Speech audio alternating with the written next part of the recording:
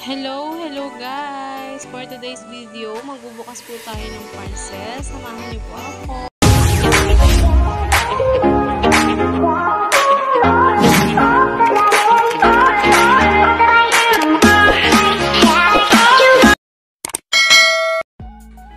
Po, dumating na yung parcel na inaasahan ko nung nakaraan pa. Ito po yung shampoo at conditioner na trending sa TikTok.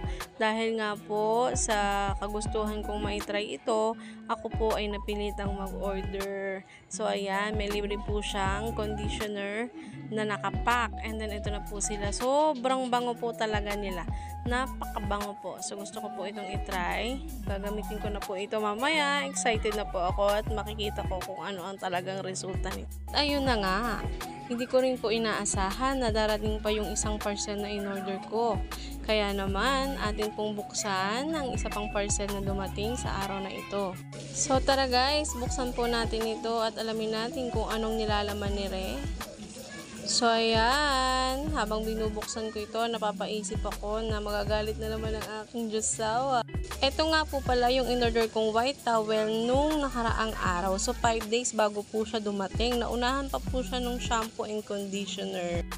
Naubos po kasi yung towel namin. Kinakain siguro ng asawa ko yung towel namin kaya hindi ko na alam kung saan ito napunta. Tapos magre-reklamo bakit daw wala na siyang towel. Saan ko daw nilagay? Eh sila itong madalas gumagamit ng bimpo at hindi ko na alam kung saan nila ito nilalagay pagkatapos gamitin. Kaya naisipan kong umorder na lang para tapos ang usapan. Kaya ayan, solve ang problema ng aking asawa at ng aking anak sa araw-araw nilang pangangailangan, may bimpo na silang magagamit. Purong puti ang in-order ko, ewan ko na lang kung mawala pa at hindi ko yan makilala pag nakita ko sa iba. Hi guys! Ayan, naiinip po tayo ngayon. Walang magawa dahil yung anak ko ay tulog. Pasensya na maingay yung TV ng kapitbahay.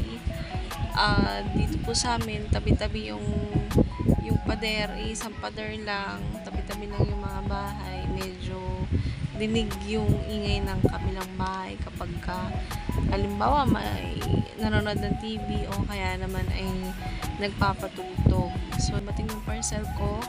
Araw-araw may dumarating na parcel. At kakatapos lang din ng ulan dito sa amin ngayon. And then, pagtapos ng ulan na yan, ako, ang init na naman panigurado. Mainit na naman yan mamayang gabi. At bukas, pupunta kami ng Baliwag, Bulacan, dun sa hipag ko, kapatid ng mister ko. Ah, magpapareban siya. Irereban ko po yung buhok niya. So, ayan nga, dahil sa naiinip tayo, binuksan ko po ang TV.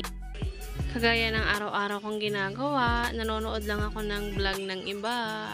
Ayan nga, ipi-play na po natin sa YouTube ang ating pinapanood na vlogger. Ayan guys, samahan niyo po akong manood pansamantala.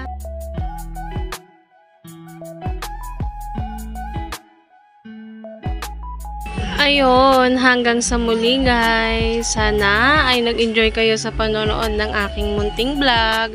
At huwag niyo pong kalimutang mag-subscribe, like, and share. Mag-comment na rin po kayo.